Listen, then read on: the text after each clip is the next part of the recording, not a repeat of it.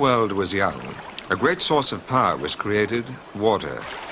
It still serves man and will continue so long as the rains fall and the rivers run. Sometimes it serves through great hydroelectric generating stations, but, and for a much longer time, is harnessed in less spectacular settings to the powering of watermills. Romans invented the vertical water wheel before the birth of Christ, but the design came to Ireland only about 500 years later. The older mills in Ireland were, as in the rest of Europe, horizontal mills, and in Ireland there was usually one in each claghorn to grind corn for the family needs.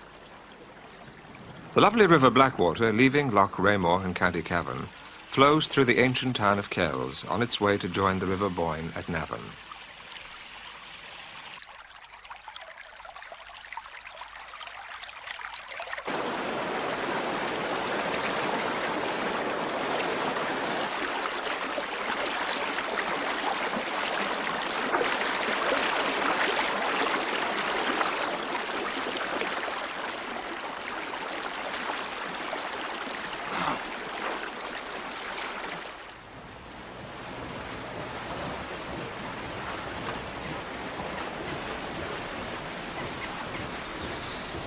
On the river bank, midway between Kells and Navan, where it has stood for centuries, is Martry Mill.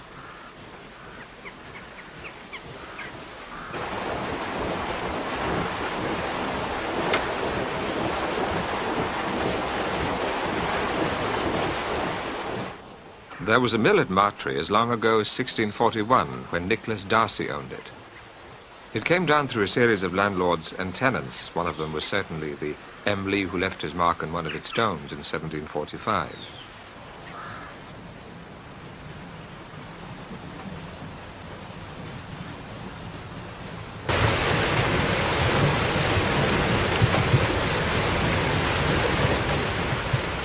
In the middle of the last century, a Meath farmer, James Tallon, great-great-grandfather of the present miller, took over the mill. Today, James Tallon, now 24, maintains the mill and its traditions with his uncle Michael. There's not much thing of trout in it. Not even more, no? No, There's only about 23. there used to be a lot of trout in it. Milling by the traditional stone grinding method, where it still exists, is a rural family business. The mill close by the house of the family, as here at Martry, where the mill overlooks the garden and the fruit trees and the beehives. A rural family life.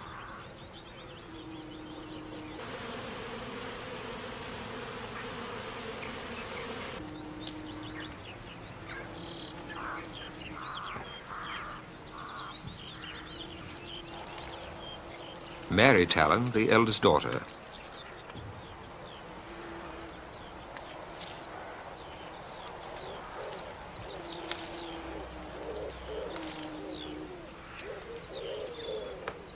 Bridget Tallon is the mother of the family of three daughters and the miller's son, James.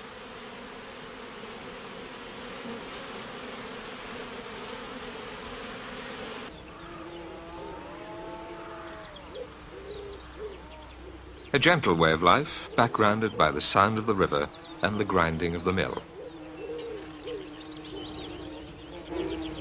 Just how many centuries ago man discovered the power of water is not recorded. Men, or their womenfolk usually, ground grain by hand, first with a rounded stone in the hollow of another. We can still see their primitive querns in museums. Then somebody found that water in a fast-flowing stream or river could be used to turn a wheel, a flat wheel, linked to turn the millstone. Labor-saving devices had been invented.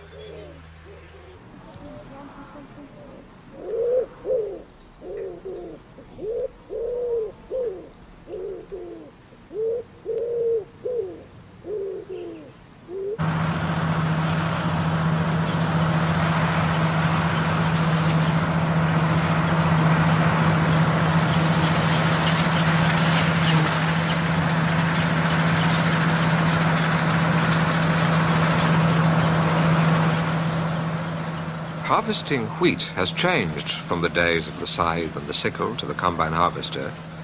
But the farmer still assesses the product in the traditional way, a gesture which in itself is allied to the milling process to come, whether in the nearby water mill at Martry or in the big mills of the cities and towns.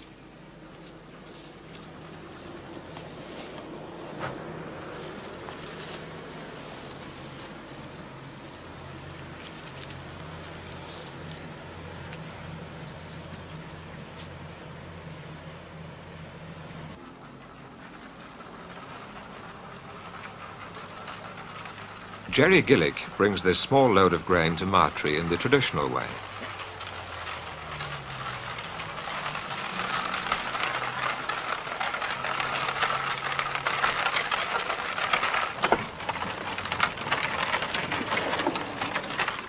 A contrast to the busy scenes of the past when perhaps dozens of carts lined up to deliver hundreds of tons of grain to the mill.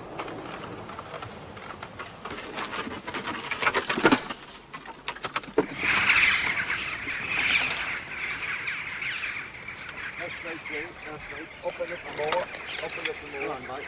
That's right. A little more. Little more. More, mate. That's right. You just do there now. Oh, oh, there. I think I'll have a look at that before we, we take it in, Jerry. Fair enough, Michael. Yeah, right. There's a quality check too before the mill takes over the grain. Uncle Michael Tallon is the assessor. Wants to be good, you know. Aye. There's no use in putting it up if it's not good.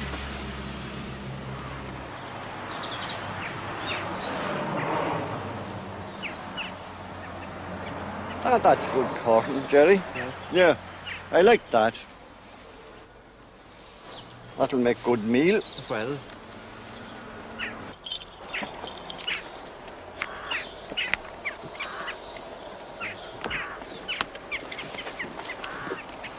yeah, very full this one. The start of the grain's journey through the mill must be at the top. No mechanical horsepower for this job.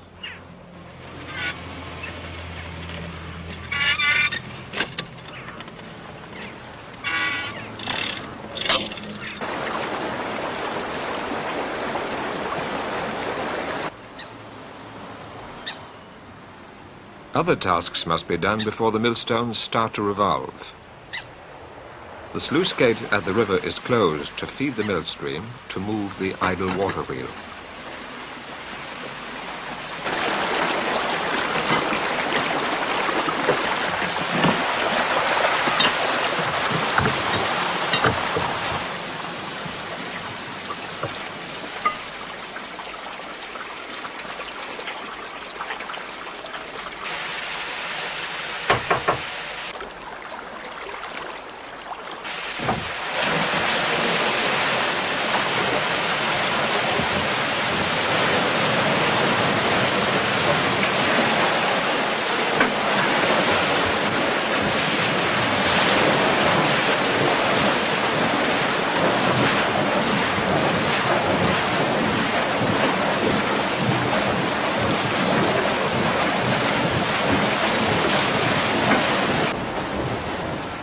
The water wheel is of cast iron. This one was salvaged from an old mill near Navan 50 years ago to replace the former timber wheel. The paddles, 24 of them, are of wood grown on the farm. Deal from trees planted on the land by Uncle Michael Tallon. The axle on which the wheel turns was once made of wood, and it was called, not surprisingly, an axle tree. But now the axle is of iron and geared to the driving of the millstone.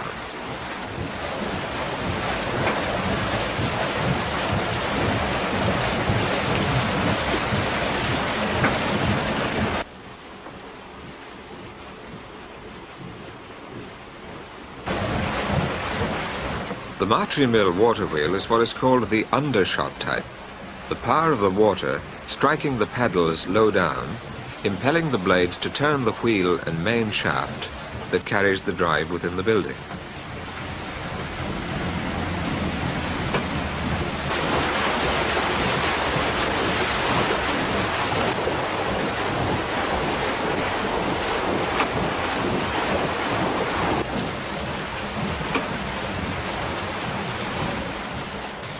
The power is on as the water drives the paddles forward and round.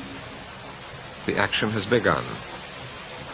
The shift of a lever and the stones can begin their work.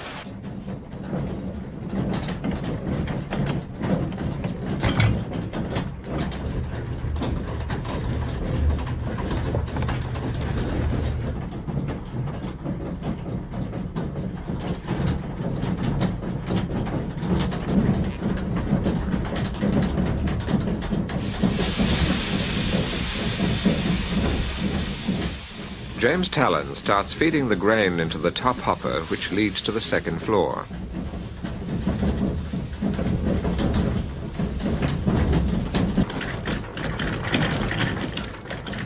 Gravity will deliver the wheat to the mill stones. A wooden cover of stave construction made by a cooper contains the ground flour to prevent it from spilling over and hides the stones from view. Remove it and see how it works.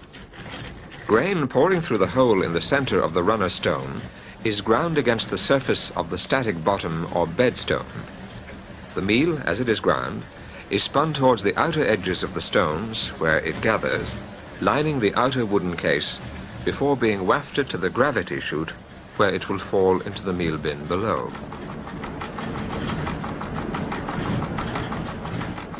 The outer case back on again the chute feeds grain into the shoe with its beechwood pad, and strangely named damsel, which keeps the shoe in motion. The yew-wood bow maintains the tension to ensure that the grain is steadily fed into the center of the stones.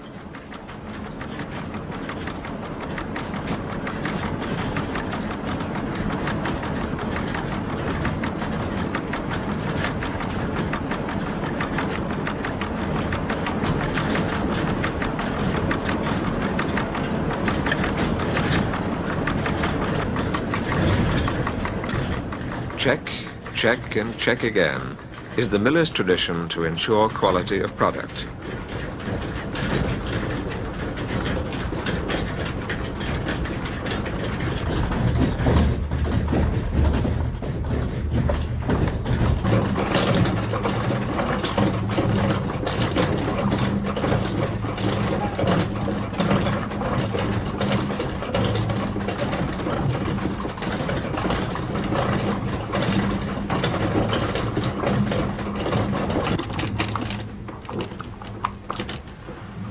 On the ground floor of the mill, the main drive shaft, or axle tree, gathering its power from the rushing stream, drives the pit wheel, which in turn carries the power to the strangely named wallower. The power is passed on to the great spur wheel above, supported by the main spindle.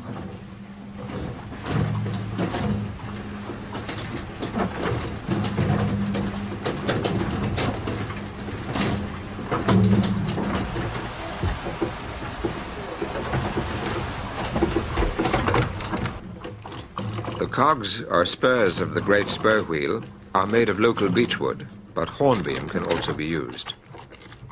The pinion, or nut shaft as some old millers still say, drives the stones.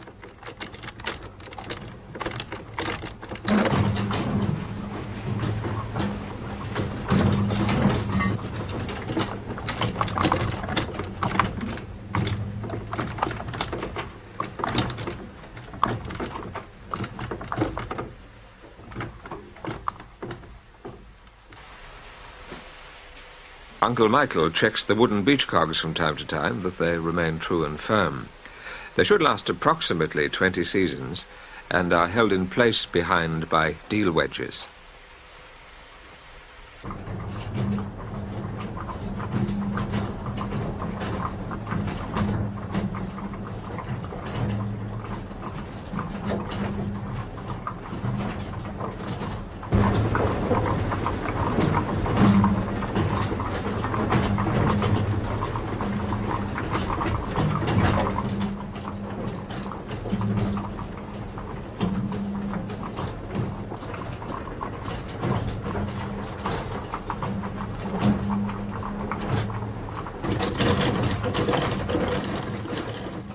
Milling by water power may be slow, but it is sure. And stone ground flour is still the finest that can come to the table. Visitors to Ireland rave about our home baked bread made from stone ground flour.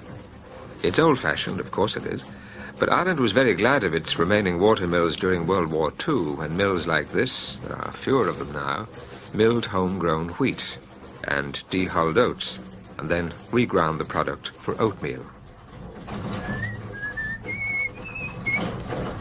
Hey, James, are you there?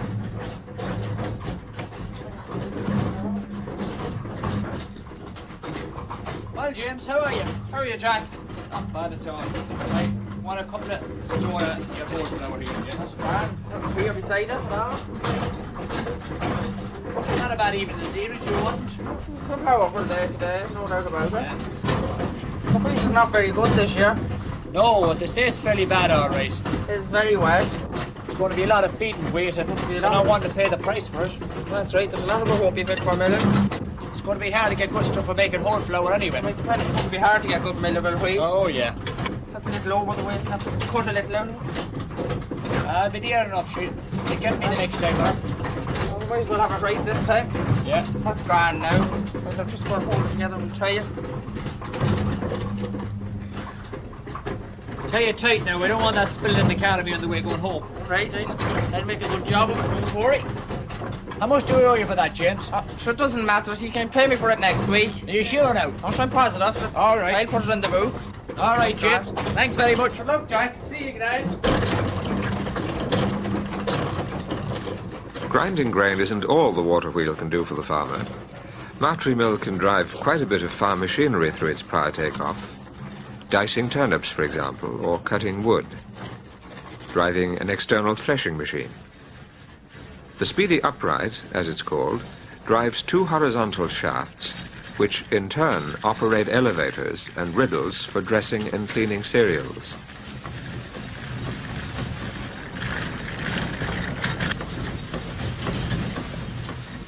The smaller weed seeds amongst the wheat grains being dressed here for seed fall through a screen and are discarded, whilst the clean grain collects on the floor.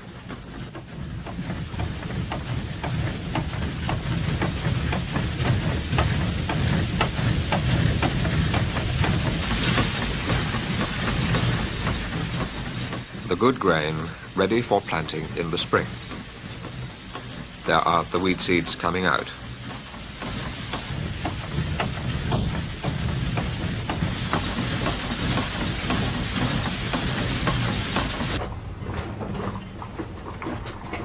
When the wheels are turning, the round of work goes on. Up those stairs again.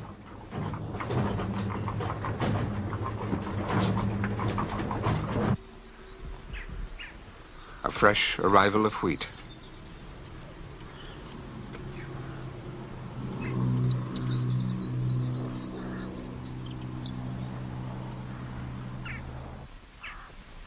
Up the stream that feeds the water wheel, there's debris. Floating wood brought down the river to be kept clear of the paddles to protect them from damage.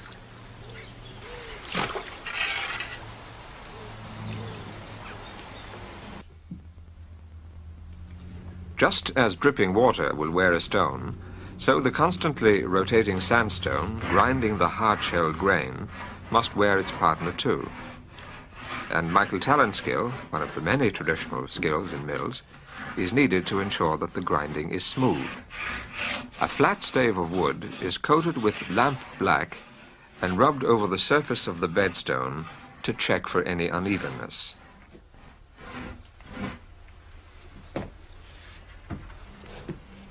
The lamp black marks clearly where dressing must be done, and Michael takes up his pick, an old miller's tool, to chip away the problem places to smoothness once again.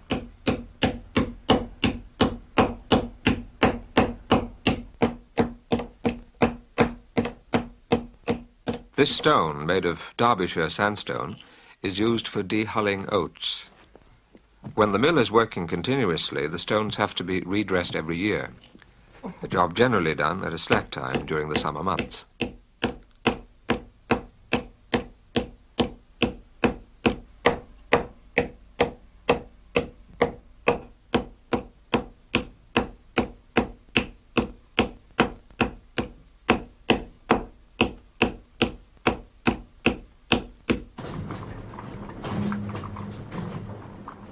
Granite topstone, the runner stone in the language of the miller, must be a grooved one when oats are being crushed.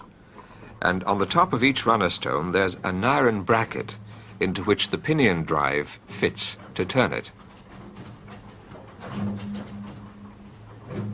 This is the granite bedstone.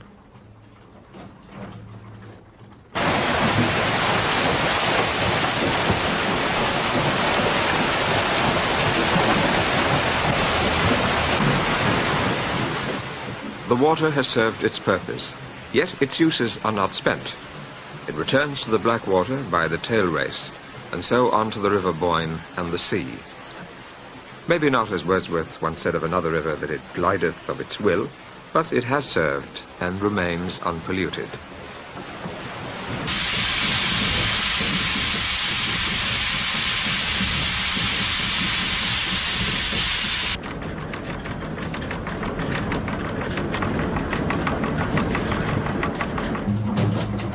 The equipment for mills such as Martry couldn't be bought as standard items, but were individually cast by foundries like Hammond Lane and often by local foundries.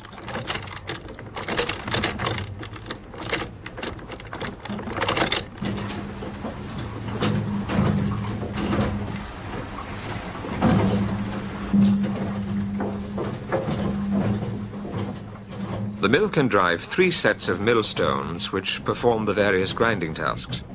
The set used for milling wheat is made from French burr, a hard stone which is fitted together in sections and bound by a metal band.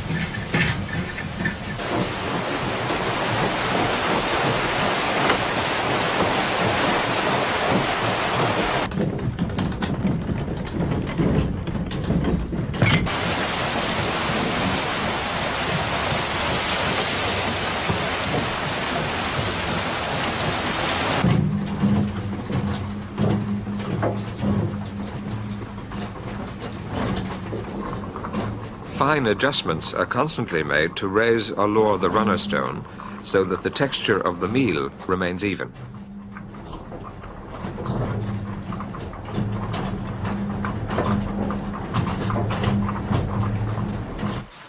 The Tarrant family have a deep attachment to their mill and the rushing river that runs beside it. To them it's not just their home, but part of their heritage.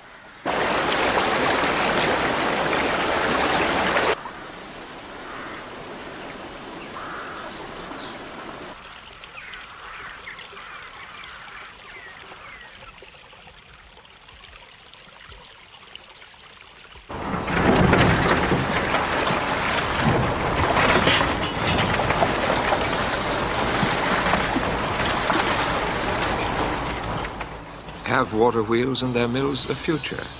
As modern drainage schemes to bring more farmland into production rip into old riverbeds like that of the Kells Blackwater. There are few enough mills left, but fortunately Martry Mill will remain, not just a tourist site, but a working mill as well.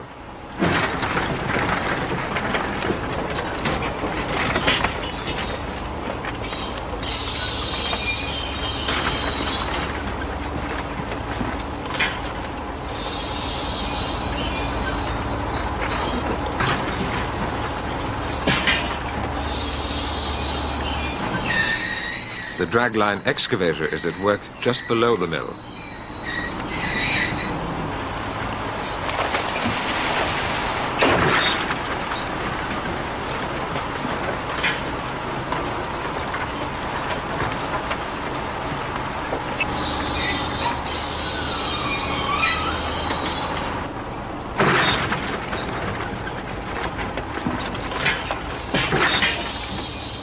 The river will run faster, land will be drained. The banks will have a canal-like look, at least for a time.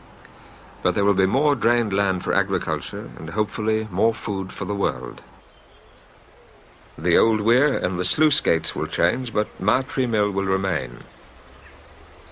The fast-flowing river will pass it by, but the mill stream will collect its tithe of water when the mill wheel must turn to fulfill its centuries-old function.